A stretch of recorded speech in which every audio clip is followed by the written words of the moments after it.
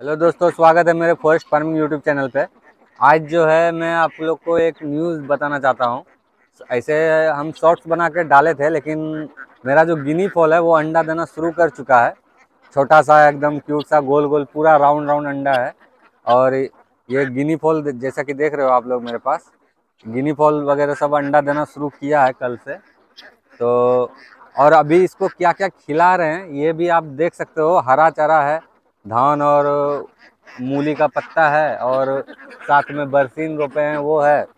तो यही सब इसको खिला रहे हैं और अच्छा से ग्रोथ भी अच्छा है, खर्च भी कम हुआ है पालने का, कॉस्ट ऑफ़ प्रोडक्शन बहुत कम हुआ है और साथ में अब अंडा देना भी शुरू कर दिया। ये चार मंथ पूरा होने वाला है, दो तीन दिन में चार मंथ पूरा हो जाएगा मेरा गिनी फॉल का। तो चार मंथ में अंडा देना शुरू कर दिया है।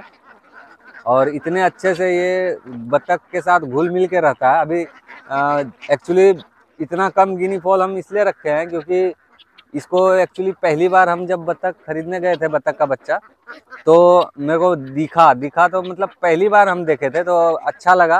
तो ट्राई करने के लिए हम रख लिए कि चलो देखते हैं इसको पाल पाते हैं या नहीं। तो बहुत ही इजी था अच्छा था, सबसे कम मोटिलिटी रेट होता है इसका। अगर आपके मार्केट में ये बिकता है तो आप इसको ज़रूर पालो, ये बहुत कम मरता है। और जो जैसा आपका देसी मुर्गी जो जो खाता है, सारा कुछ खा सकता है ये, और आराम से अपना रह सकता है। आप लोग देखो, बत्तख के साथ घुल मिल के रह रहा है, लेकिन एक दूसरे को लोल मारना या ऐसा कुछ कुछ नहीं कर रहा है। हल्का फुल्का जो है जो बत्तख खाता है, वही सेम खा रहा है। हरा चारा भी खा लेता है, धान भी खा लेता है। कोई भी मतलब इसको पालना कोई मुश्किल काम नहीं है, बस आपको यही देखना है कि बस ये डरता बहुत ज़्यादा है तो जैसे कि ये अगर चर उड़ रहा है, कहीं पे घूम रहा है तो उसके आसपास कुत्ता वगैरह सब ना आए, नहीं तो डर के इधर उधर भाग जाता है तो उसमें इधर उधर भागने का डर रहता है और ये उड़ता बहुत भयानक है। बोले तो एकदम चिड़िया से भी खतरनाक उड़ता है, मुर्गी मुर्गी सबसे खतरनाक उड़ता है चिड़िया की तरह। और बहुत लंबा लंबा उड़ता है। और आप देखो जैसे यहाँ से मेरा वो आगे वाला खेत है बरसीन रोपा हुआ है। उसके बाद जो गोटा बोलते हैं उसको तेल जिससे निकलता है उसके उसके पार चल जाता है डायरेक्ट यहाँ से उड़ के। तो इसलिए इस, इसको डराना मतलब डरने हर डरने वाला कोई भी चीज़ आसपास नहीं आना चाहिए। फॉर्म को आप सिक्योर कर लेना चारों साइड से। या तो फिर जो आदमी इसको डेली खाना खिलाता है ना वही इसके आसपास रहे, बाकी बाहरी आदमी को मत घुसने देना, फॉर्म में या जहाँ भी रखे हो आप। अगर खुला में रख, रखते हो तब। और इतना अच्छा देखने में लगता है, हम तो इसको ट्राई करने के लिए लाए थे, लेकिन अच्छा खासा इसका आठ सौ रुपया मेरे एरिया में अभी प्राइस है आठ सौ रुपया के जी। तो अच्छा खासा प्रॉफिट देगा ये, और खाने के नाम पे कुछ भी खा लेगा ये। जैसे कि हरा चारा में अभी हम मूली का पत्ता खिलाए हैं। तो मूली का पत्ता है, बरसीन है और कोई चीज़ हरा चारा मिल जाता है, आलू का पत्ता, आलू का ऊपर वाला जो कटता है वो सब कुछ भी, हरा चारा में कुछ भी हम इसको काट के दे देते हैं और साथ में थोड़ा सा धान वगैरह सब मिला करके दे देते हैं।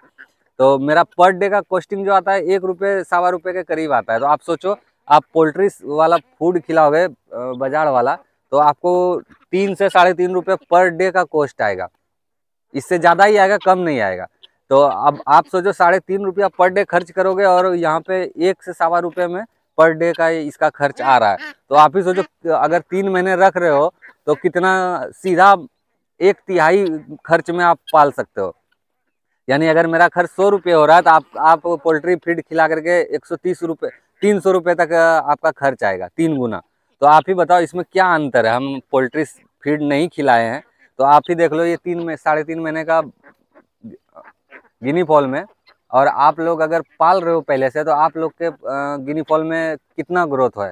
मेरे ग्रो, मेरे वाले गिनी फॉल से और आपका गिनी फॉल में। कमेंट करके ज़रूर बताना। और मेरे को तो कोई अंतर नहीं दिख, दिखता है। और अच्छा से खाता है, हरा चारा सारा कुछ खाता है। कीड़ा मकोड़ा, जो भी आसपास मिल जाता है, सब खा लेता है। और इतना अच्छा से रहता है, शांति से रहता है कि अगली बार जो है इस ऐसे भी इसका अंडा देना शुरू हो गया है।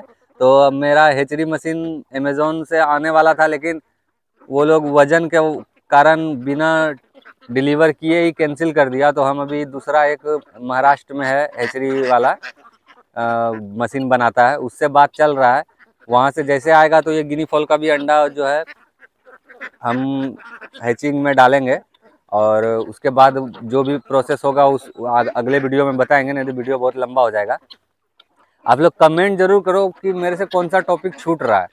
क्योंकि देखो, हम जो पाल रहे हैं तो हमको जो मेरे दिमाग के हिसाब से लगता है कि नहीं इस टॉपिक पे बताना चाहिए, किसी का भला हो सकता है। जैसे मेरा खुद का एक्सपीरियंस बताता है कि हाँ ये चीज़ हम किए तो कोई और भी ये चीज़ करके मुनाफा कमा सकता है। तो आप लोग अपने दिमाग से कमेंट करो कि और किस किस टॉपिक पे आप लोग को वीडियो चाहिए। तो पूरा वीडियो देखने के लिए धन्यवाद और हाँ प्लीज़ गाइस सब्सक्राइब कर देना। लाल बटन जो है वो अच्छा नहीं लगता, उसको ग्रे कलर करो करो यार, जैसे भी करो, कूट कूट के करो या जो भी करके करो, पर करो। और वीडियो को शेयर करना, लाइक करना, कमेंट करना, प्लीज़ गाइज़ और सपोर्ट में। पूरा वीडियो देखने के लिए धन्यवाद। जय हिंद, वंदे मातरम।